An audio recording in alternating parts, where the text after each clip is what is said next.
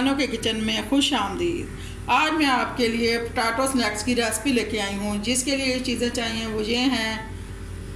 एक चम्मच कुटी हुई लाल मिर्च एक चम्मच धनिया powder, half teaspoon garam masala powder, half tea teaspoon हल्दी पाउडर, एक चम्मच नमक, एक चम्मच ज़ीरा, एक चम्मच अनारदाना एक नींबू का रस, हरा लहसुन थोड़ा सा हरी मिर्चें जो मैंने काट ली हैं, हरा लहसुन भी मैंने काट लिया धो के और ये हरा धनिया, इसको मैंने धो के काट लिया है।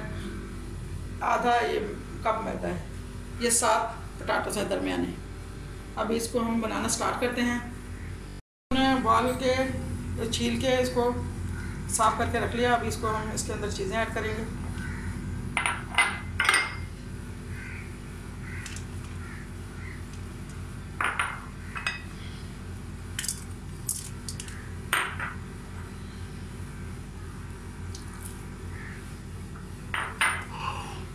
ये सारे स्पाइसी मसाले और सब्ज़ मसाले इसके अंदर चले गए। अब हम इसको पीस लेंगे आप पटाटस को। अब हम इसको पीसेंगे। ये देखें व्यूज़ आप चाहे तो कद्दूकश भी कर सकते हैं और इससे पीस सकते हैं। इसके अलावा आप कुंडी के अंदर कूट भी सकते हैं, जैसे आपको आसानी लगे। मैं तो इससे आसानी हो रही है मुझे मैं इसी से कर लेती हूँ। उसके बाद मैं हाथों का इस्तेमाल करूँगी। हाथों से जो मज़ा है काम करने का, वो किसी और चीज़ से नहीं है, लेकिन थोड़े पीस के तो फिर हाथों का इस्तेमाल होगा। इस तरह। पीस चुके हैं अब।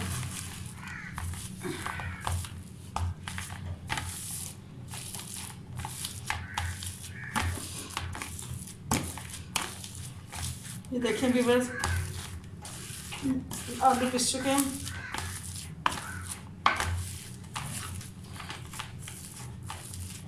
अब इसके अंदर मैदा ऐड करेंगे। और हाथों का इस्तेमाल करेंगे।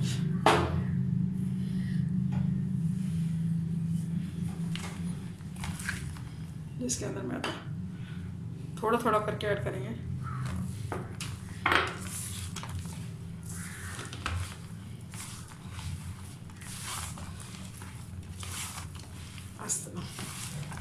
सारी हाथों से आप अच्छी तरह मिक्स करेंगे मसालों को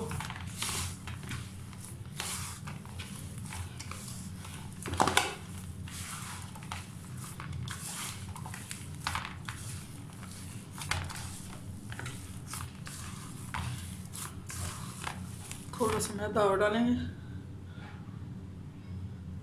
बस इतना ही काफ़ी होगा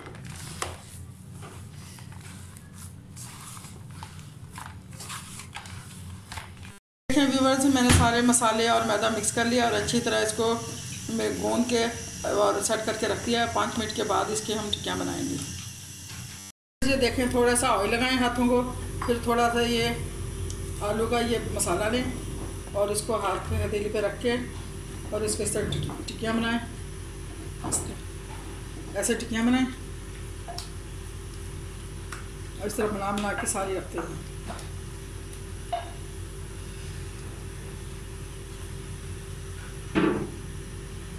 थोड़ा इस तरह आलू का बैटर लें इस तरह इसको टिक्कियाँ दबा के, पतीली रख के और बनाते हैं। ये देखें भी बस मैंने ये चार टिक्कियाँ बनाई हैं। अभी इनको मैं फ्राई करूँगी। ये मैंने आधा किलो इसमें ऑयल डाला कढ़ाई के अंदर। ऑयल अब गर्म हो चुका है। अब इसके अंदर हम इस टिक्कियों को डालेंगे और फ्राई करेंगे।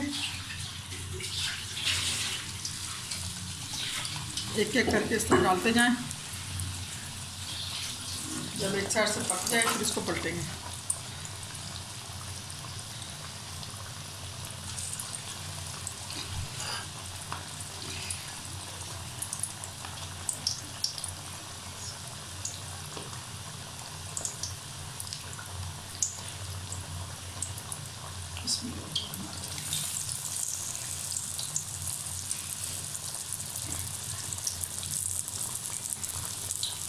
देखिए भी बार ये फ्राई हो रही हैं। हमने इसका चूल्हे की आग को हल्का किया हुआ है और इसको तेज़ आग पे नहीं पकाएँगे क्योंकि ये अंदर से फिर कच्ची रह जाएँगे। हल्की हल्की आग पे पकाएँगे ताकि ये अंदर तक पक जाए। ये भी अंदर फूलना शुरू हो गई हैं। ये बहुत मज़े की बनते हैं।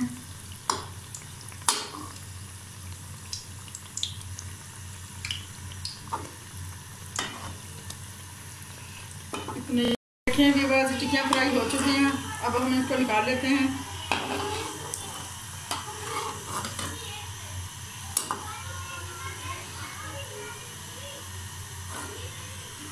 ये बहुत मज़े की टिक्कियाँ बनती हैं। इसको बड़े और बच्चे बहुत शौक से खाते हैं, खासकर बच्चे तो बहुत शौक से खाते हैं।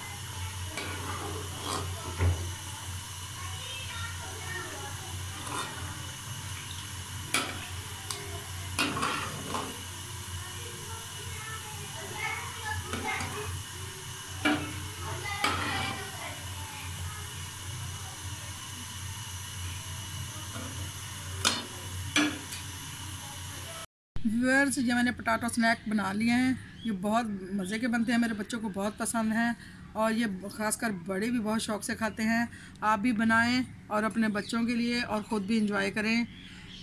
मुझे, मेरे चैनल को बहुत ज़्यादा सपोर्ट करें सब्सक्राइब करें लाइक करें अच्छे अच्छे कमेंट्स करें, घंटी के बटन को दबाएँ और दुआओं में याद रखें। अल्लाह हाफिज़।